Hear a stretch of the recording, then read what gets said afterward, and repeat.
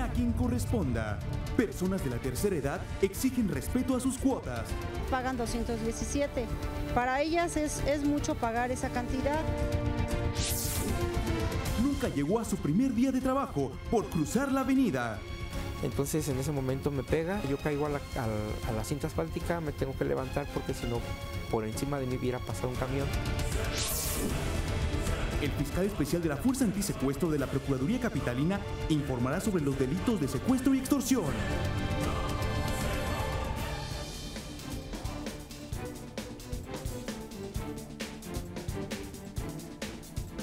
Bien. Este, ¿Cómo están ustedes? Bienvenidos. Realizando aquí este, Twitter. Ir al mar no, este, no está en mis manos esa situación. Cantarle este, al Papa no, no, no está en mis manos. Otra más. Adrián nos dice, debería ir Papa a todos los municipios para que los arreglen. Sí, estaría, estaría bien, ¿no?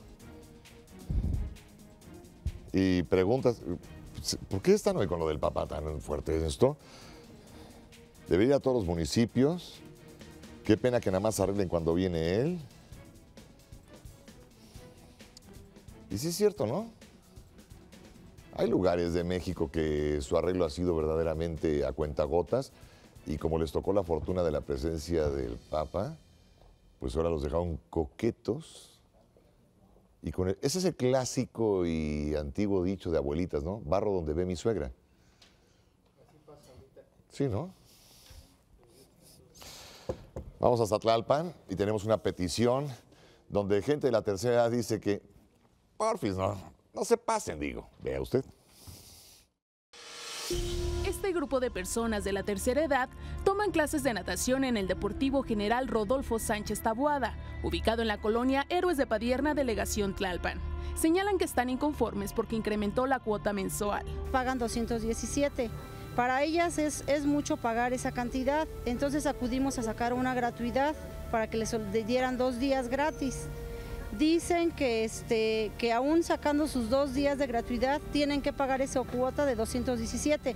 Explicaron que venían pagando 109 pesos al mes. Hay pioneras aquí, compañeras que están nadando desde hace muchos años y han pagado esos 109. Acudimos a Villa Olímpica con el director de promoción deportiva y dijo que esto es así, que porque este, si ya están agarrando su descuento del INAPAN, entonces no pueden agarrar gratuidad. Expresaron que practican natación para mejorar la salud y pensar en un cambio de lugar les implica un mayor costo. es donde me agarra un poco más cerca para, para venir a nadar. Yo necesito nadar. No, ya no caminaba y desde que estoy empezando a nadar ya me siento mejor.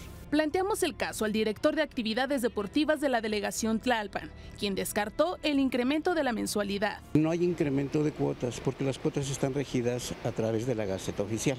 Esta determina el costo de cada cuota eh, anualmente. Añadió que la última administración no llevó un control sobre los descuentos y días de gratuidad y ahora están regularizando las finanzas. Lo que sí está ocurriendo es un asunto eh, de regularización administrativa y financiera y económica porque eh, por alguna razón, en algún momento dado, en 2015, se incrementaron de una manera impresionante las gratuidades. Eh, de tal forma que en este momento tenemos una cantidad de 1.170 gratuidades y donde solamente ingresan recursos por 400 personas. Entonces está muy, muy complicada la situación económica de esta alberca. 1170 en cuál? En esa unidad En esa unidad Agregó que la cuota mensual es de 434 pesos. Nos aseguró que en el caso de las personas de la tercera edad se les otorga el 50% de descuento al presentar la tarjeta del INAPAM. Para quien corresponda, Lina Loes Soto. Pues ahí está la petición de la gente de la tercera edad que quieren seguir nadando. Nada más lo, lo único que se consiguió es por 50% está, lo tenían en 109, son 217 menos el 50%. Pues queda más o menos poquitito más alto, unos pesillos más altos, pero sí habría que pensar en la gente que los recursos no le dan suficiente para estar así. Sería interesante el ejercicio. Lucía nos dice que lo que estamos viendo son los primeros milagros papales que sale de tu municipio, ¿eh? Ahí está.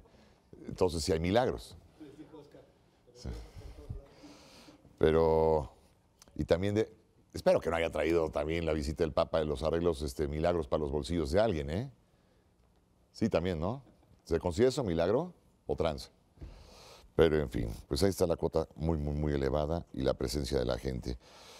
Esto depende directamente de Claudia Shinumba, el Pardo, jefa de delegación en Tlalpan. ¿no? Samia, Buenas tardes. gracias. Oye, agradece por favor a quienes nos dan este Efraín Jorge Romero Martínez, director de Desarrollo de Actividades Deportivas en Tlalpan. Sí, señor. Agradeceles sus finas atenciones y la respuesta a esto, pero también echar un grito a la delegada para la gente de la tercera edad y después de un estudio socioeconómico, qué tanto se podría hacer, ¿no? Claro, por supuesto, señor, claro que sí, le avisamos. Con los ingresos que tenemos de mucha gente de la tercera edad, eh, el nadar es un lujo. Es un lujo, sí. y para ellos es salud. resulta, Es salud. y resulta una actividad importante, ¿no? Claro ¿Te que sí, lo hacemos Me la con saludas, mucho por favor, gracias. Claro que sí, señor, gracias. Vamos hasta Querétaro. Maritza Pedraza, desde a quien corresponda a Querétaro, nos platica sobre un abandono. Un, un abandono. Vamos a esto. Alejandro Galván afirma que se encontraba en su casa, cuando en eso se percata que una patrulla se lleva su camioneta. Eh, salgo, me, entrevisto con los oficiales, les hago saber que, que si yo soy el propietario de la camioneta, que cuál es el problema, me, dicen que tiene un reporte de, de vehículo abandonado. Eh, les hago el señalamiento de que tiene, tengo documentos, tiene sus placas, Señala que trata de tener el vehículo en las mejores condiciones posibles. Y es que es una camioneta rara, por lo tanto es difícil su reparación. Eh, aún a pesar de mis protestas, se lleva en mi camioneta y me hacen saber que pues este, tiene una infracción, que tengo que ir a recogerla pues, en donde indica la autoridad. El vehículo fue trasladado a un predio en el norte de Querétaro, donde tuvo que pagar todo lo necesario para recuperarla. Posteriormente, acudió a diferentes instancias para aclarar la situación. Desde gobierno del estado, este, gobierno municipal, eh, todas las instancias legales, tránsito, policía municipal, como digo, y bueno, en ninguna tengo respuesta hasta que voy al Tribunal de Responsabilidades Administrativas. Pero las pruebas de Alejandro Galván fueron insuficientes para la autoridad. Tengo tres años, tres años que estoy tratando de que se haga justicia, de que se revise nuevamente mi caso para considerar que los que cometen la falta son los servidores públicos, en este caso policías municipales. Así que sigo, sigo pidiendo que se haga justicia, que se revise el actuar de los, de los policías. Con imágenes de Francisco Preciado, Marixa Pedraza, a quien corresponda Querétaro. Qué vergüenza para las autoridades en Querétaro que estén más preocupados de una camioneta de colección, que están buscando las piezas del mismo. El volante está del lado derecho, tiene el volante a la inglesa. O sea, ¿tan preocupante es la camioneta o las violaciones, secuestros, abusos de autoridad, corrupción, robos, atracos a transeúnte, este, la falta de atención? E- El tiempo de la autoridad está metido en ver si la camioneta estorba o no estorba. Ay, sí, discúlpeme, pero qué pérdida de tiempo, en serio, ¿eh? Si este hombre por hobby ha decidido reparar esta camioneta y echarla a andar, es su bronca, su bronca. No hay cosas más importantes en Querétaro, no hay broncas más serias en Querétaro como para estar peleando por una fregada camioneta y levantar actas y tener en el tribunal papelería de una camioneta un coleccionista.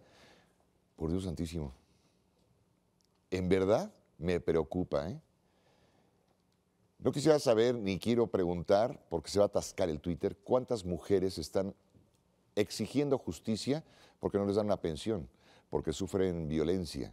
¿Cuántas criaturas, jóvenes, hombres y mujeres han sido abusados sexualmente y no han sido atendidos? También en Querétaro. ¿Cuánta gente ha sido atracada, robada, separada de sus propiedades en Querétaro? Y tienen todo el tiempo para perder en esto de una camioneta. Creo yo que el día que tengan todo solucionado y se estén rascando la panza en la oficina de un ministerio público o en un tribunal allá en Querétaro, ese día, ese día, yo creo que les- ¿qué tal si vamos a fregar a los que tengan camionetas viejas? Eh, yo, por favor. Pero si me equivoco, mándenme un Twitter, digan, tenemos todo solucionado, por eso ya nos damos el lujo de las camionetas. Por Dios santísimo. Urge en México aplicar la justicia en otras áreas. Bueno, se lo dejo de tarea, se lo dejo de tarea. Me preguntan que si los letreros del metro de Bienvenido el Papa es porque lo van a llevar en el metro. Hombre, Imagínate, lo sale sin báculo, sin cruz y sin nada, ¿no? Y, y después, con todo el ropaje que lleva el papá, se le va a atorar entre los vendedores ambulantes. O a lo mejor sí sirve porque alcanza a comprar un chorro de cosas de los vendedores que están en las puertas del metro, ¿no? Imagínate. Oye, ¿qué nos trajiste de México? Pues no sé, mira, la ratita que le picas y brinca, que compré unos chicharrones, mira los pepinos con chilito. Va a estar padre cuando llegue al Vaticano y les platique todo lo que compró, ¿no? Y se me manchó de chile piquín, de las jícamas que estábamos probando y los cocos y todo. Porque es lo que sale a las entradas y salidas del metro, ¿no? ¿O los quitan para que entre? No, porque no tendría la oportunidad, su santidad, de comprar alguna de las ofertas que va a tener ahí. No, pues me imagino que le pusieron letreros allá abajo en el metro de este bienvenido su santidad para que usted se acuerde de darle la bienvenida. No creo que lo vayan a llevar en el metro. No, no, que trae el abono del transporte, que no, que compre su boleto, que... O el DVD de la visita, también la podría comprar ahí, ¿no? Este, a ver, Samia, están diciendo Sí, señor. Que compraron, que retiraron a los vendedores ambulantes de la delegación Cuauhtémoc. Sí, ¿Sí lo leíste? sí, señor. Bueno, ¿qué hacemos con los que dicen que no han retirado a ninguno de enfrente de sus negocios y que es una mentira, que es mentira politiquera? Ayer me lo dijo el propietario de un local, allí en la Cuauhtémoc, que es mentira, que quiere saber a quiénes quitaron, por qué no los han quitado, a quienes han tenido puestos ambulantes por años enfrente de sus negocios. Mm, Que no declare el delegado, lo dijeron ayer, y te- tengo que dar lectura a esto, que no declare el delegado hasta que los quite de enfrente de los negocios establecidos que pagan impuestos. sí, podemos hablarle al delegado, Sí, al doctor porque Monreal. la gente aquí Claro. comenta eso y pues sí me preocupa que una declaración, dicen que ya se retiraron los vendedores y la gente dice que... Que no es verdad. ¿A dónde? No, no, a lo no, mejor se retiran de fin de semana, pero por nada más por el puente. Sí, nos comunicamos con el doctor Monreal y- le hacemos Sí, esta que petición. es un cuestionamiento que le hace la gente. claro, ¿eh? claro. Por supuesto, señor, claro Ahí sí. está. Ahí está, tenía que pasar. Ya me mandaban el cartel del metro. Pero si no pierden una, ¿eh? Ahí está. Oscar, ¿cuándo vas a ponerle una pantalla al estudio para que pueda presentarse en la pantalla y no estar volteando la tablet, compadre? Supongo que lo van a... supongo que el Papa va a llegar en metro, de otra forma no comprendo el gasto. No, yo creo que es para recordarles que va a estar aquí el Papa. No lo van a subir al metro. No. Pino Suárez a las seis de la tarde. Pero sí se notaría, ¿no? Entre la multitud vestido de blanco. Ahí va el Papa. ¿No? O el vagón de mujeres, que es más violento que el de los hombres. Hay muchas mujeres que dicen preferir viajar en el de los hombres, que son más amables que las mujeres, porque hay a tortazos para subirse. ¿Será cierto? Mi gracias, agradezco a Guillermo Terán Pulido, fiscal desconcentrado en la zona este, de la atención al delito de secuestro, denominada Fuerza Antisecuestros de la Paz, eh, de la Procuraduría General de Justicia aquí en la Ciudad de México, quien está atendiendo vía telefónica. Mire, cualquier extorsión telefónica, cualquier sospecha de, cualquier comentario con respecto a privación de la libertad, secuestro y todo eso, ahí está el fiscal, el especialista. No se vaya con la costumbre de preguntar a su comadre que dice saber todo. Las comadres no saben todo en la vida. No saben todo, no saben todo. Y la comadre después le dice, no, no, aquí la policía debería hacer, no, hable con quien hace las cosas y busque la solución. Y si alguien se encuentra en una situación delicada donde un pariente ha sido privado de la libertad, es el momento de hablar con el fiscal. Ellos saben lo que hay que hacer y lo que hay que decir y cómo hacer las cosas. Si a usted le ha caído las llamadas de extorsión, ya sabe primero que nada hay que co- colgar y ahí quedó. Listo. Qué barbaridad. Mil gracias a Rodolfo Ríos Garza, Procurador General de Justicia del Distrito Federal, por las finas atenciones y el compromiso de que vengan los fiscales aquí con nosotros. Ayer comentamos, y aquí sigue el tema, si tienen ubicadas las narcotienditas, ¿por qué no las cierran? Lo pregunto yo todos los días, ¿por qué la autoridad me dice, en esta colonia, en esta zona, hay 18 narcotienditas? Si las tienes ubicadas, ¿por qué no las cierran? Vuelvo a preguntarlo. ¿Cómo saben que hay 18? ¿Qué tal si abrieron una nueva y no los invitaron a la inauguración? No cortaron el listón. Pero ¿cómo se atreven a decirme que hay 18? Pues ciérralas si sabes que hay 18. ¿O está muy difícil dar con ellas? Digo, los teléfonos de los que extorsionan por teléfono. Tenemos ubicados estos teléfonos que son los que extorsionan. Habla con las compañías telefónicas. Estos son los que están fregando al prójimo. Mata las líneas. Hola, la Secretaría de Comunicaciones y Transportes que dé la orden de que mata las líneas. Ya tenemos ubicados los teléfonos. Córtalos. ¿Por qué no cortan la línea? No creo que sea atentar contra los derechos humanos de un delincuente que desde la cárcel extorsiona, ¿verdad? Pero bueno. Vamos hasta Yucatán, a Mérida. Llegamos con Vanessa Argáez, desde a quien corresponda Yucatán. Y nos dicen que las falsas acusaciones le llevaron a la cárcel.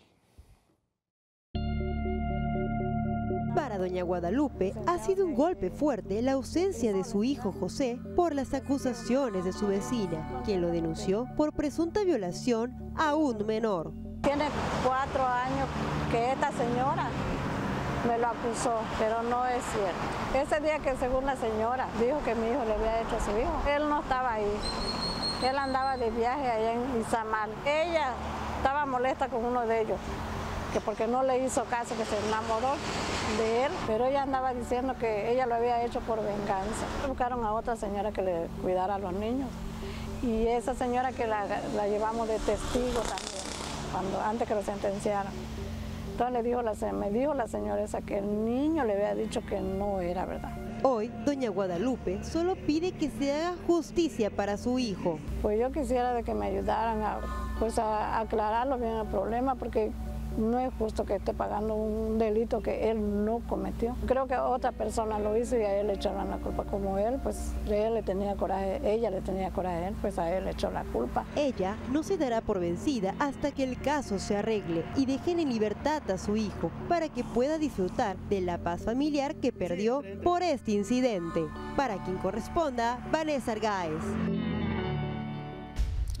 En una investigación judicial, la autoridad de repente nos ha dado lecciones muy interesantes cuando la familia tiene pruebas y nos dicen que es inocente y ellos tienen otras donde se demuestra la culpabilidad plena. Pero lamentablemente todas las familias que se ven involucrados en un ilícito de este estilo en toda la República tienen que participar como si fueran agentes de investigación para demostrar la inocencia de quienes tienen privados de la libertad. Y en caso de error, pues demostrar inocencia y que le suelten. Estaremos pendientes de esto. Estaremos muy, muy muy pendientes y la gente está totalmente desesperada con eso. Voy a casetas de atención, Lina López Soto, en esta cálida tardecita mañana. Uf.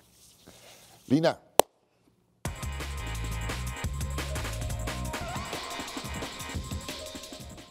Lina, ¿cómo estás? Creo que soy alérgico al americanista.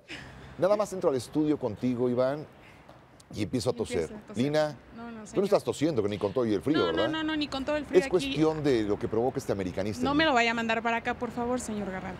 Andalina, cuéntame qué tienes. Rapidísimo, le cuento. Durante 25 años presentamos en este espacio historias reales, soluciones reales, señor Garralda. ¿Y por qué les comento esto? Porque aquí está con nosotros la señora América Herrera, a quien le damos la bienvenida. América, ¿cómo está usted? lo del América es por el equipo de fútbol, nada que ver con usted, mi reina. No, nada que ver, ¿verdad? es por el americanista que tengo de floor manager. Ese nombre.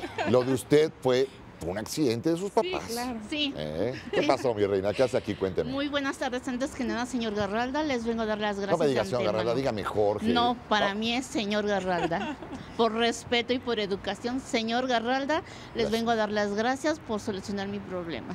Platíquenos rápidamente, señora América, de qué era su problema. Bueno, aquí mi esposo es policía bancario industrial. eh, fuimos a pedir un préstamo a la caja este, de prevención. eh, le dieron un cheque a mi esposo, resultando que el cheque no tenía fondos. Mi esposo lo depositó, no tenía fondos. ¿Cómo cree? Eh, tardaron casi un mes para devolvernos ese cheque. Gracias a ustedes, la intervención de ustedes, a los pocos días este, de que ustedes intervinieron nos mandaron a hablar. Bueno, no nos mandaron a hablar, yo fui y me presenté al banco y pues... Dieron un cheque ajá, nuevo, les ah, regresaron el cheque. perdón. Exactamente. Entonces, este, lo que necesitaban en la caja de prevención era que mi esposo regresara ese cheque que no tenía fondos para regresarle uno nuevo. Así lo hicimos. Este, Ya se vio reflejado en la Ajá, cuenta bancaria. ya se vio todo, se resolvió todo el problema y gracias a Dios y gracias a ustedes pues se resolvió ese problema, le regresaron a mi esposo, él regresó el cheque sin fondos y le entregaron uno nuevo en la caja de Fondos, prevención. Ah, qué bueno. Con fondos ya. No, qué bueno. No, y qué bueno que ya quedó solucionado, pero no, gracias a Mario Di Constancio y a su gente que nos echaron la mano para este, que solucionara eso. Este caso lo grabó Rubén Monroy, ¿verdad? Sí, señor, así es, sí. Fue en mi domicilio él. Muy bien, que, mil gracias No, por recibirnos. No, yo nada más le digo una cosa, señor Garralda. Yo, este, pues le doy mu- muchísimas gracias y que Dios lo bendiga, que tenga mucha y que le dé mucha, mucha, mucha salud para que siga ayudando a la gente como nosotros, que no tenemos luego muchas veces dinero para poder poner un licenciado o podernos mover. Entonces, que nos dure muchos años usted para que pueda, y bueno, usted y todo su equipo, para que pues nos ayuden a resolver los problemas, porque pues es desgastante muchas veces cuando uno va al día, ¿verdad? Y digo, y un cheque de esa magnitud, digo, para nosotros es importante para resolver nuestros Y problemas. nos comentaba que era también para resolver unas deudas que ustedes tenían. Sí, porque ya teníamos muchas deudas Claro. y, y eso era para resolverlo, pero gracias a Dios se resolvió. Y pues, la intervención de todos ustedes, de usted No, principalmente. gracias. No, ya me chivé y le agradezco mucho. y le platico a usted y a nuestro público televidente que esta es la instrucción principal del presidente de Grupo Salinas, Ricardo Salinas, quien ha dado la instrucción de atender a nuestro público a la medida de nuestras posibilidades y al asumir la batuta del barco de Banco de Televisión Azteca, este, Benjamín Salinas, que es nuestro nuevo director, ha mantenido la instrucción de atender a nuestro público a la medida de nuestras posibilidades y cada una de las diferentes áreas del grupo pues son áreas de negocio, pero también cuando tenemos la oportunidad de apoyar y ayudar, lo que es el banco, lo que es el electro, lo que es todas las áreas, ahí estamos para eso y para servirle. Y si está en nuestras posibilidades, lo hacemos. Y cuando no se pueden las cosas, se lo decimos a la gente y de repente me mandan twitters de no funcionan. No, mire, somos honrados y le decimos se puede o no se puede, porque últimamente los milagros los traemos muy escasos. ¿eh? ¿Eh? Le mando un abrazo y gracias que se tomó pues, la atención y la molestia de venir hasta su casa para decirnos que salieron bien las cosas. Le mando un abrazo y un beso, cuídese Gracias mucho. igual, gracias. y yo le mando igual un abrazo muy fuerte. Y el beso, ¿no? Y, y el beso. Ya Y, está, lo digo yo. Y mil bendiciones, de verdad. Gracias, mi reina. Que Dios le las dé recibo mucha y salud las comparto con todo el equipo, hasta con el americanista este. ¿eh? Cuídese mucho. Por eso le digo, voy a demandar a mi mamá porque es la única que vive. Cuídese mucho, reina. Gracias. Gracias igual. Y esta semana estoy muy contento porque tengo la oportunidad de felicitar a quienes he compartido la oportunidad de verlos trabajar. Esta semana la Fuerza Aérea Mexicana celebra su aniversario 101 y quiero compartir con todos ustedes historias de mexicanos y mexicanas extremadamente valientes que nos llenan de orgullo. Nosotros, en A Quien Corresponda, hemos tenido la oportunidad de, en los diferentes desastres naturales, acompañarlos a bordo de estas naves. Ellos son los que brindan la seguridad de nuestro país y ayudan en cada caso de desastre natural. Y nosotros, le presumo, a bordo de esas aeronaves lo hemos vivido y hombro con hombro. Durante muchas horas hemos trabajado con ellos. Pero hay un instante en que los civiles nos cansamos y ellos, como si nada pasara, primero hay que sacar adelante a la población civil. Sus integrantes mantienen los valores que pues vieron nacer esta, esta área de la institución. Honor, valor y la lealtad. Al mismo tiempo que actualizan sus conocimientos y su flota se moderniza para enfrentar los nuevos retos de nuestro amado México. Vea esto.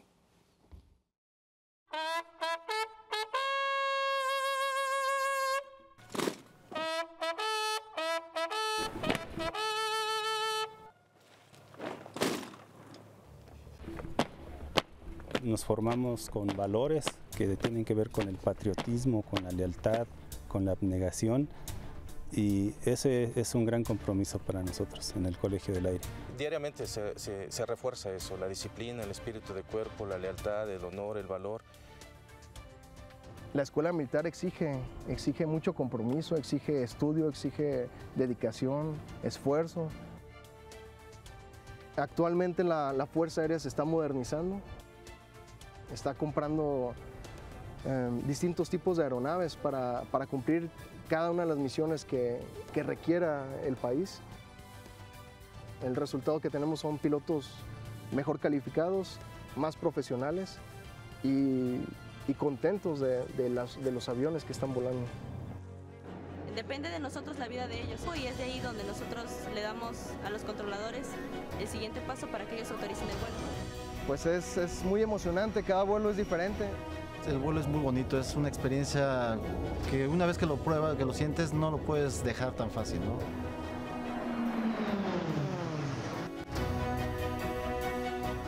Desde que empezamos a volar es nuestro, nuestra meta, nuestro deseo, llegar a, ser, a comandar una aeronave. Pero sabemos que en realidad lo importante de nosotros es, están abajo, están en ustedes, están en las familias. Personalmente es una satisfacción muy grande porque nos tiene la confianza de dejarnos unas aeronaves a nuestro cargo, eh, pues que son de todo el pueblo. ¿no? Le diría a todo el pueblo mexicano que, que puede depositar su confianza en las Fuerzas Armadas, que día a día eh, tanto el ejército, la Fuerza Aérea o la Armada tratan de poner lo mejor de sí mismos en cada especialidad.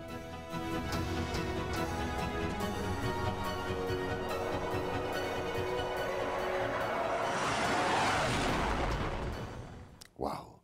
Todos estos hombres y mujeres uniformados que surcan el cielo mexicano lo hacen para que usted y yo, los civiles, estemos a salvo. A salvo de aquellos que hacen daño a la patria, a salvo de las inclemencias del tiempo, los huracanes, los terremotos.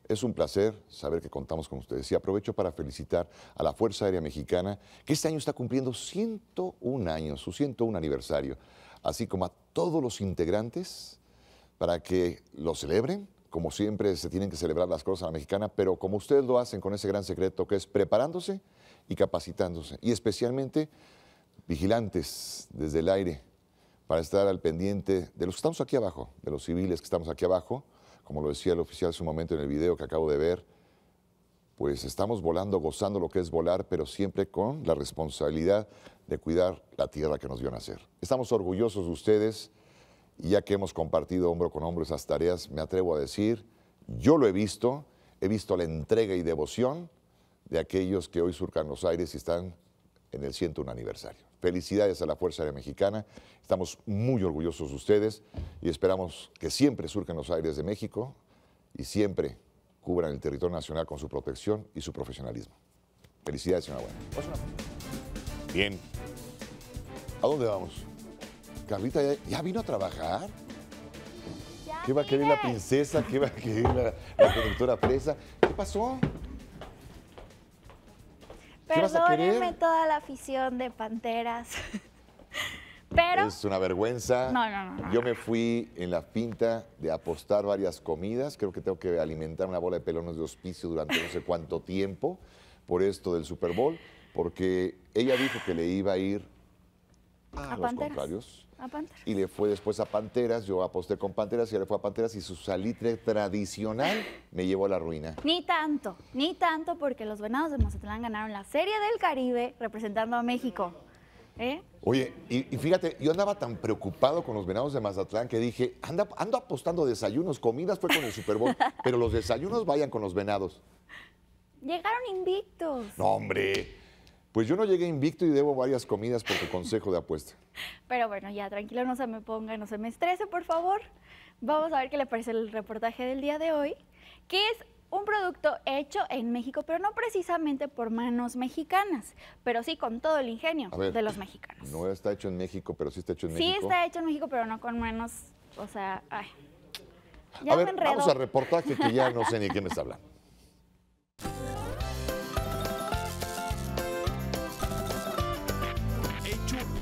México.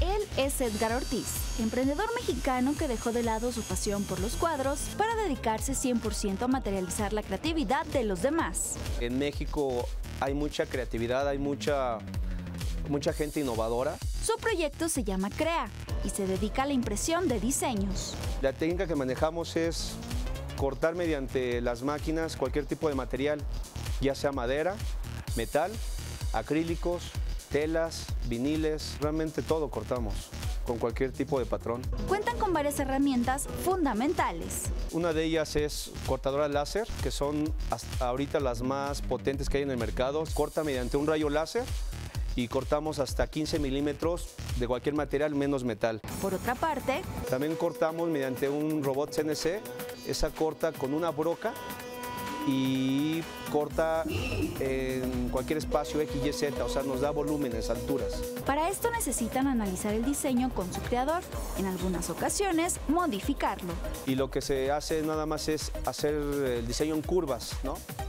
En líneas y ya. Lo mandamos a corte y la máquina nos corta el patrón muy exacto. Prácticamente pueden realizar cualquier cosa, pues ya han trabajado para distintas empresas, restaurantes y hasta organizaciones mundialmente reconocidas. A lo mejor no tenemos nosotros directamente la- la- el reconocimiento porque estamos tras las, tras las máquinas, ¿no? Nosotros somos los que elaboramos, pero nos da mucho gusto ver cuando salen en comerciales cosas que hemos elaborado nosotros. Hecho en México, Carla Sandoval. ¿Qué tal? Oye, sí me impresionó. Padrísimo. Y la verdad es que elaboran Pero son manos cualquier mexicanas. cosa.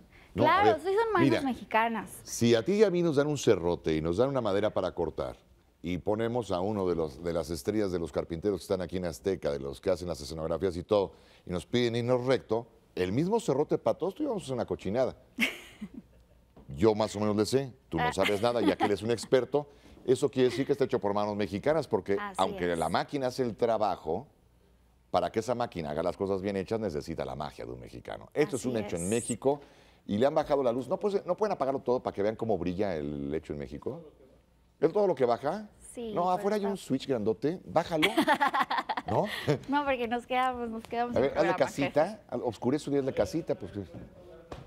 Sí, igual y es lo más oscuro que puedas, compadre. Uy, no, sí, brilla requete harto. No, sí brilla Deja bastante. ponerme atrás con el traje oscuro porque con eso a lo mejor ya se nota que sí se más brilloso. Ahí está, ya. Ah, ya sé cómo se le mire. Con esta clavija espantosa que puso el floor manager, vea. Está prendido, está apagado. Está prendido, está apagado. Está prendido, está apagado. Está prendido, está apagado. Está prendido. Creo que a alguien le gustó mucho su regalo el día de hoy. Pues sí, el floor manager es un burro que nos pone esa clavija espantosa. Pero ya vio cómo se prende y se apaga.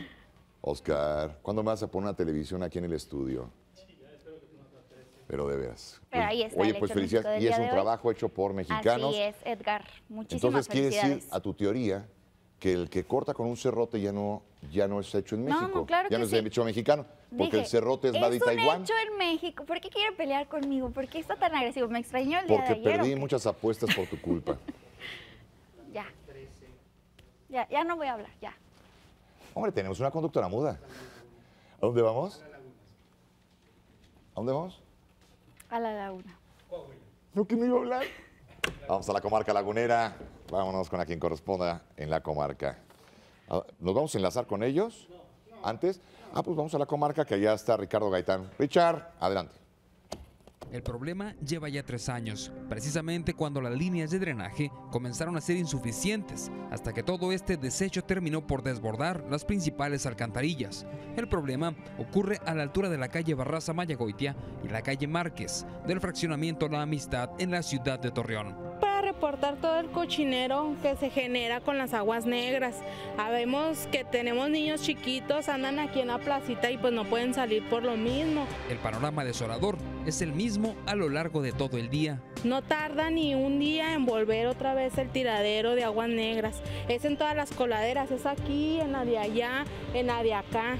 Y siempre ha habido ese mismo problema. Las cuadrillas del Sistema Municipal de Aguas y Saneamiento, el CIMAS, sí acuden, pero no terminan de arreglar el problema.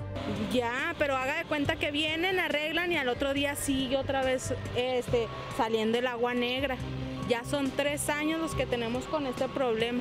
Manifiestan que seguido deben poner dinero de su bolso para que otras personas acudan a destapar el drenaje, ya que se ven afectadas las líneas del interior de sus viviendas. Pues se tapa a veces, se tapan las, este, tenemos que pagar para que se vengan y destapen, pero nos dicen que es el, mismo problema, que es de, de todo, el- los ductos del desagüe, que no nada más es, venir y destapar las coladeras estas, se tiene que destapar desde todos los pozos y nadie caso. Exigen que representantes del CIMAS y del Ayuntamiento de Torreón acudan a ponerle fin al problema que los aqueja desde hace años. A quien corresponda, Ricardo Gaitán. El drenaje en la amistad. En la enemistad, ¿no? Pero bueno, en la amistad. Ahí platícanos cómo se solucionó esto. Del otro lado del estudio tengo amigos de mucho tiempo. ¿Cómo estás? Bienvenida, qué gusto tenerte aquí. estamos? Hola. ¿Cómo están muchachones? Bienvenidos, mil gracias. Es el cuarto aniversario de la Arena Ciudad de México y está Angélica Oropesa, que es la directora de la Arena Ciudad de México, y de Carlos Enríquez, el director comercial de Signia. Más de cuatro millones de personas han estado, hemos estado en la Arena Ciudad de México. En estos cuatro años, más de cuatro millones y medio de personas. Ya los quisieran muchos candidatos de votos, esos, ¿eh? Pero bueno, no, hombre, ¿y para qué te cuento? Más de cuatro millones de personas. ¡Wow! Sí, sí, sí. que, más de que es un 600 eventos. auditorio, para llenarse tiene que ser lo mejor de lo mejor. Así es. Porque el tamaño, este, a uno chafa, si yo me dedico a cantar y me presento ahí, pues nada más van a estar ustedes por amabilidad, pero no. Pero es un auditorio con una capacidad de 22 mil personas. 22 hasta 22 mil personas, que ha dado el espacio para los grandes shows en México y me impresiona que de repente tenemos un grupo musical que llena la atmósfera con sus melodías y al otro día tienes unos carros con unas llantas inmensas que siempre le digo que en ese evento cuando nos mandas boletos para regalar, lo único que sí yo le aconsejo es que lleves unos tapones de Sí, sí, sí. sí. porque después no puedes estar con él y se goza el espectáculo. Y lo puedes gozar a tus anchas y lo disfruto. Cuatro años. ¿Y qué van a hacer? Porque cuatro años, o sea, Se nada más lo van a festejar así de felicidad y ahí quedó.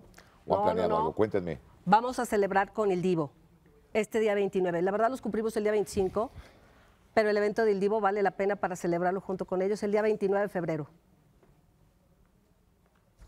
¿Qué más? Cuéntenme. Pues Ah, tenemos, bueno. tenemos muchas cosas que vamos a ofrecer.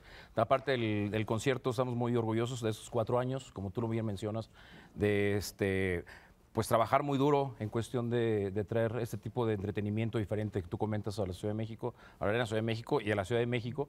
Eh, el recinto es eh, y ha sido, pues ya se está volviendo un ícono a nivel internacional. Igual es una cuestión que no me dicen ustedes, pero tengo que platicarlo. Hay muchos artistas internacionales que no podrían presentarse en México porque tendrían que ir a un estadio. Así y es. no- Y, no tienen la capacidad acústica para lograrlo, porque no, no existen en México escenarios antes del nacimiento de la Arena Ciudad de México con esta capacidad.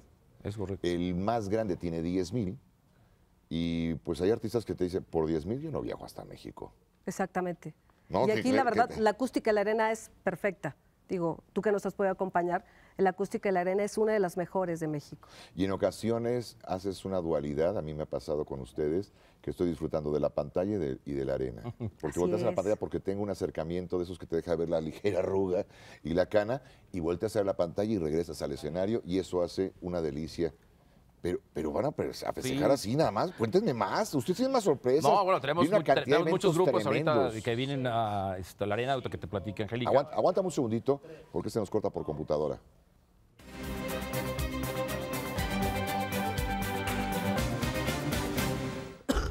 Gracias y un saludo a toda la gente que nos ve en estos momentos allá en Puebla. Y para ustedes también la arena, porque les queda tiro de pedrada a los, de Sí. este- a los amigos de Puebla. Pero en serio no me presumen, yo les voy a presumir. He aterrizado en helicóptero ahí, hemos ido a hacer reportajes, tienen dos helipuertos. Tienen, han hecho este, 22 mil asistentes, más de mil pantallas de, pla- de plasma high definition, tienen 124 suites de lujo, 5 mil cajones de estacionamiento gratuito. Así es. Que ese es un punto delicioso porque cuando la gente le oyes hablar de ir a un evento, dice tanto de los boletos, tanto de lo que vaya a comer y más el estacionamiento. ¿Y dónde que- me voy a estacionar? Uy, son carísimos, el franelero ya me llevó al baile y ustedes están listos para recibir a los 22 mil con sus carros. Así es. 5 mil lugares de estacionamiento gratuitos, que eso lo hacemos mucho pensando precisamente en el público, en las finanzas. Y más ahorita, de cómo están los precios en todos lados, la verdad es algo que ha ayudado muchísimo.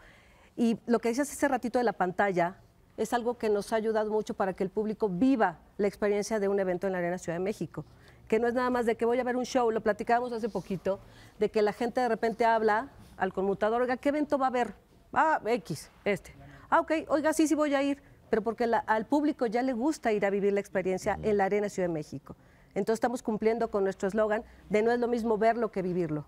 Wow. Y si es toda una experiencia vivir un evento en la Arena Ciudad de México, puedes llegar dos horas antes para no tener problemas de tráfico ni nada. Estamos a 15, 20 minutos de Estamos a 15 Polanco. minutos de Polanco, muy, muy cerca. Sí, muy, muy cerca. Es muy céntrico y además hay un punto que también hay que festejarles a ellos. El llegar muy temprano, tienes muchísimas amenidades dentro de la misma arena, mucho que hacer. Si tú llegas muy, muy temprano a un evento, tienes dónde irte a comer, prepararte para tu evento.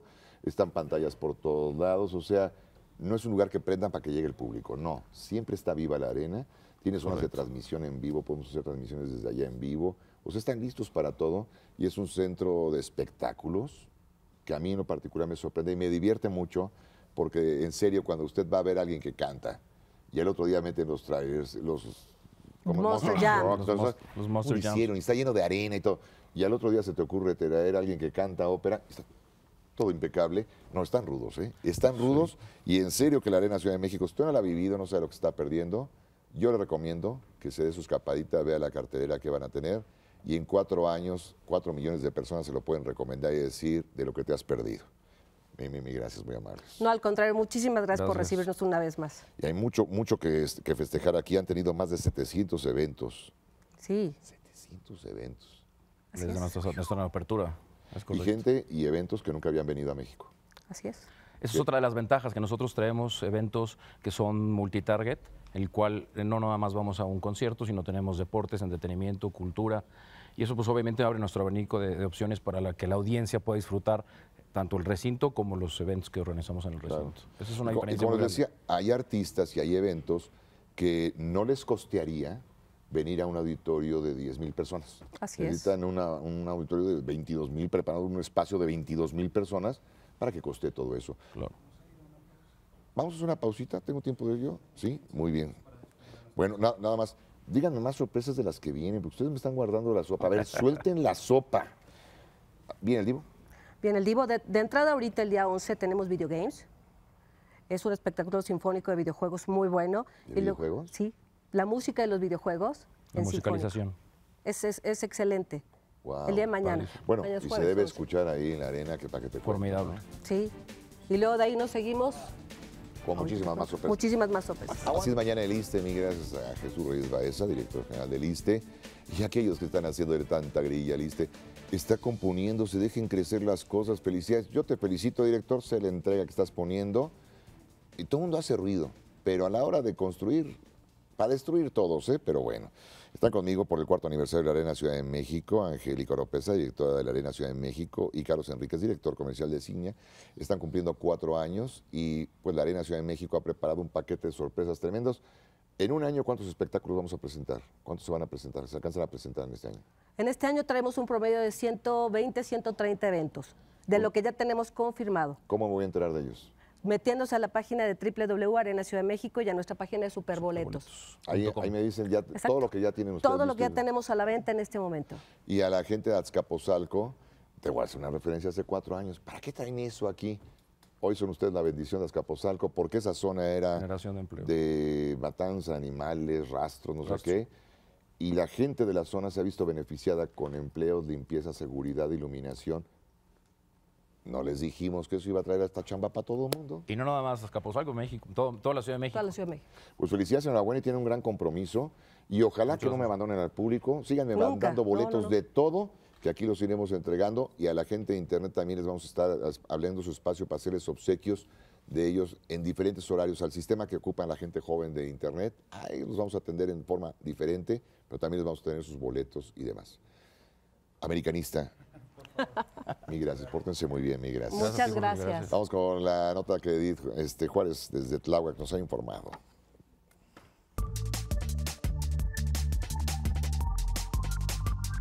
En A quien corresponda le presentamos el caso del señor Armando Rodríguez Escamilla, quien requería apoyo para que le pagaran los gastos médicos y salarios pendientes tras sufrir un accidente laboral donde perdió dos dedos. Contactamos a las autoridades de la Procuraduría de la Defensa del Trabajo en el Distrito Federal, Profedet, e inmediatamente nos hicieron saber que asesorarán al señor Rodríguez. Este es uno de los miles de casos que se resuelven en las oficinas de a quien corresponda, sin que su historia se conozca antes en las pantallas de su televisión. Historias reales, soluciones reales, 25 años cerca de ti. Alfonso Vargas Torres en el estudio a quien corresponda. Vamos. Alfonso Vargas. Periodismo digital en todo momento.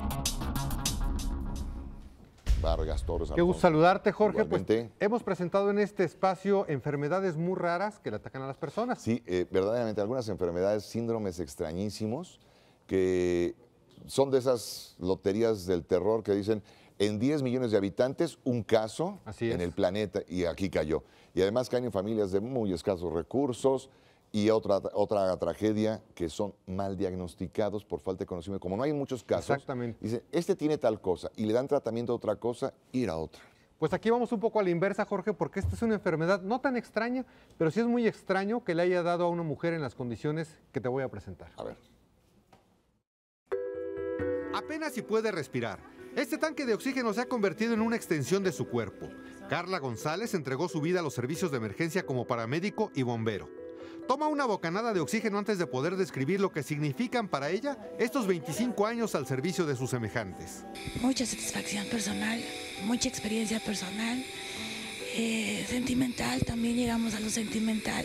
Carla González, o Charlie, como la conocieron cariñosamente en los bomberos de Tultitlán, Estado de México, es diagnosticada hace dos años con una enfermedad pulmonar llamada enfisema buloso. Es una forma de enfisema que es parte de lo que llamamos enfermedad pulmonar obstructiva crónica, EPOC. Explica que las bulas son una especie de globos que se forman en los pulmones. Y cuando una bula de estas, porque son cavidades grandes, es tan grande que ocupa hasta un tercio de un pulmón, a eso se le llama enfisema buloso. Carla pierde una parte de ambos pulmones. Tengo mis cicatrices, cicatrices a las cuales yo les llamo que me quitaron las alitas. Este tipo de enfisema se asocia al tabaquismo en exceso y ataca principalmente a personas que rebasan los 60 años de edad, pero ella fue detectada a los 36 años y no fuma. Hay que identificar si puede haber alguna causa genética relacionada con eso.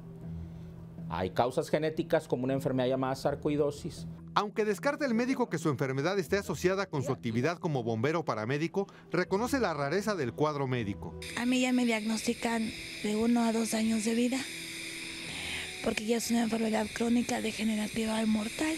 Ha enfrentado a la muerte con la misma valentía que lo hacía en los siniestros. Dice que no le tiene miedo a la muerte porque siempre ha trabajado de frente con ella. Con la mirada triste, sostiene entre sus manos parte del uniforme que jamás, jamás volverá a utilizar. Donde me dicen, ya no te vas a subir a una ambulancia, ya no vas a ayudar al prójimo, ya no vas a cubrir un servicio de emergencia. Y eso me pegó mucho, me dolió demasiado. Para mi hermana y para mí es un ejemplo a seguir mi mamá, es una guerrera, una campeona. Toma 16 medicamentos diarios, lo que ha deteriorado no solo su cuerpo, sino la economía familiar. Carece de seguridad social. Bazares de caridad y eventos a beneficio no han sido suficientes para solventar los gastos. Esta es la historia de una mujer cuyo lema se encuentra enmarcado en las paredes de su casa. Si el deber nos lleva a la muerte, la muerte nos lleva a la gloria.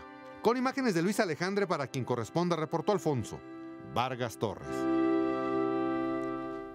¿Esta enfermedad es operable?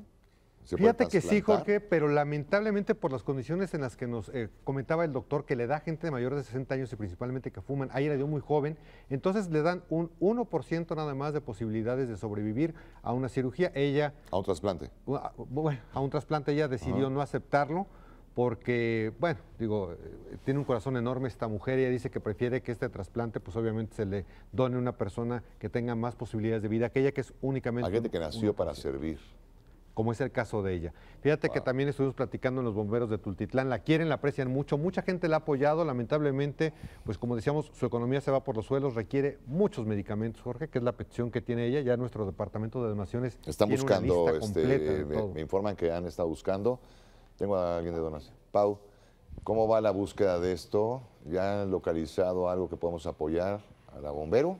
Claro que sí, señor Garralda. Estamos buscando los medicamentos que, que necesita para, bueno, brindarle el apoyo y que tenga una mejor calidad de vida. Claro, muy bien. Mil gracias, Pau. Te encargo mucho. Eh, Ponte de acuerdo con Alfonso para que den una revisada ahí permanente y laboratorios, farmacias que nos puedan apoyar, porque una enfermedad como esta no hay economía, no hay riqueza que aguante, no hay, un momento que es imposible el pago de esto. Te encargo mucho, ponte de acuerdo con Alfonso pronto. ¿eh? Los Con todo gusto, ahí señor.